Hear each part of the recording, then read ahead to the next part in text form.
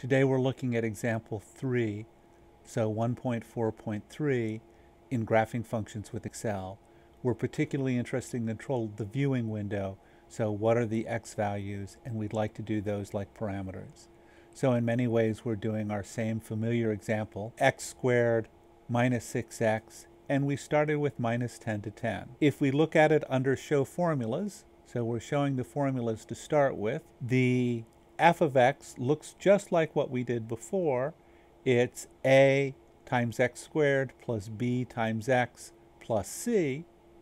The difference is in our x values, we have a starting point. We're going to start with minus 10 and go up by steps of 1. If we start and quick fill, we're going to get exactly what we wanted before. We need to be careful though, because in the first column, I only want to expand down those second things because I had a starting point and then I'm taking a step up from my starting point and I keep stepping up from my starting point. I don't want to loop back and put the starting point back in. And then I also quick fill my values of y. I then show the formulas.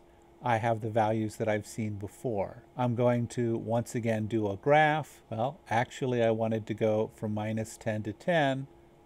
So I'm going to extend my quick fill down three more. I then want to put in a graph. Having put in a graph, I'm going to insert my scatter plot, mark scatter plot. This gives me my familiar graph. The advantage of doing this is I can decide I'd like to zoom in, so I'd like to go from 0 to 5. Well, if I go from 0 to 5, that's my starting point. If I have 20 steps, each step should be 0.25 from the previous step. I want to go 0.25 as my step, and notice it zooms in. I'm interested in what's happening from 0 to 1, so I'm going to make my step 0.05, and when I do that, I'm just looking at the graph from 0 to 1.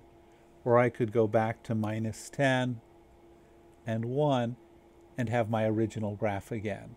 So this is letting me control the x values by saying where I'm starting and how much I'm moving at each step. Thank you.